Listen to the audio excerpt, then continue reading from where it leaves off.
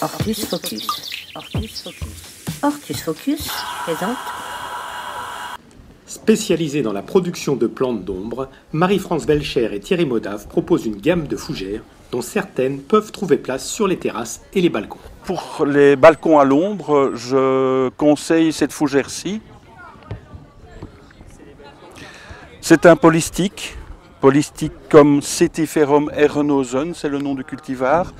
C'est une fougère qui va développer des frondes de 60 cm, qui va pousser plus ou moins à 60 cm de haut et qui s'accommode euh, d'une terre fraîche à l'ombre. Un bon terreau de culture, euh, léger et qui garde bien l'humidité, va permettre à cette fougère de bien se développer.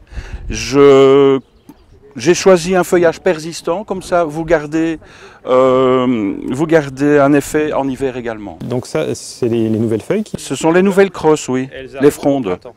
Elles arrivent au printemps, elles arrivent maintenant, et puis elles vont se développer progressivement euh, tout au long de la saison. Et j'aurai beaucoup d'entretien. Donc c'est une plante qui ne demande pas beaucoup d'entretien. On la place dans un terreau bien fertile et on maintient la motte humide toute l'année.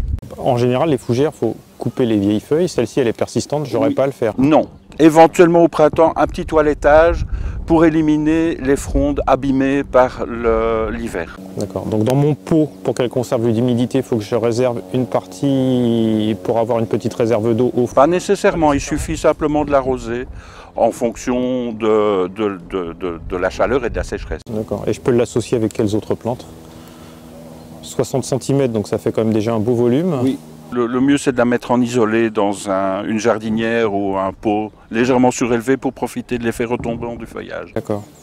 Et si à l'autre extrémité de mon balcon, je veux faire un pendant avec une fougère, sachant que lui, pour le coup, il est exposé au soleil. Est-ce Oui. que j'ai des possibilités? Les fougères qui aiment le soleil sont beaucoup moins nombreuses, mais je propose celle-ci. C'est une petite fou- fougère mexicaine, la chélante laineuse, en latin chélante lanosa. Elle, elle aime bien le soleil, elle se plaît au soleil ou à la mi-ombre. Et il faut la mettre dans un substrat euh, beaucoup plus poreux, beaucoup plus drainé.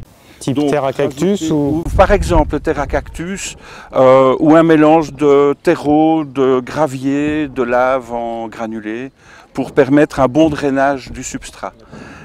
Il y a un problème, l'hiver, il faut la protéger des pluies. Et donc soit la mettre à l'abri, soit mettre euh, une protection sur le dessus. Par contre, vous dites qu'elle est d'origine mexicaine, elle risque pas de geler. Non, parce qu'elle pousse en montagne. Jusqu'au moins moins 15 degrés, elle va résister. Et le feuillage est persistant également. Et quelle ampleur va-t-elle prendre? Alors, elle est plus petite que l'autre. C'est une fougère qui va se développer de 40 cm dans tous les sens.